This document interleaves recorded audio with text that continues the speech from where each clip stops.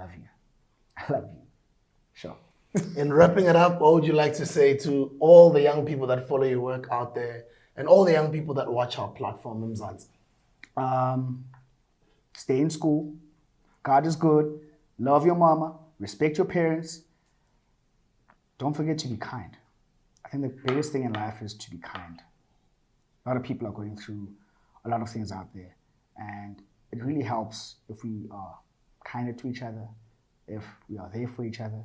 While we're all walking each other home, let's hold each other's hands. Let's hold each other accountable. Um, let's not be frivolous.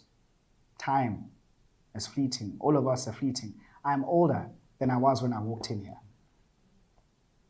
So whatever you got to do, do it now. Do it now. Time is fleeting. All of this is fleeting. When you think you are at the, the, the highest peak in your career, this too shall pass. But if you also feel like you are at the lowest valleys, that too shall pass. Right?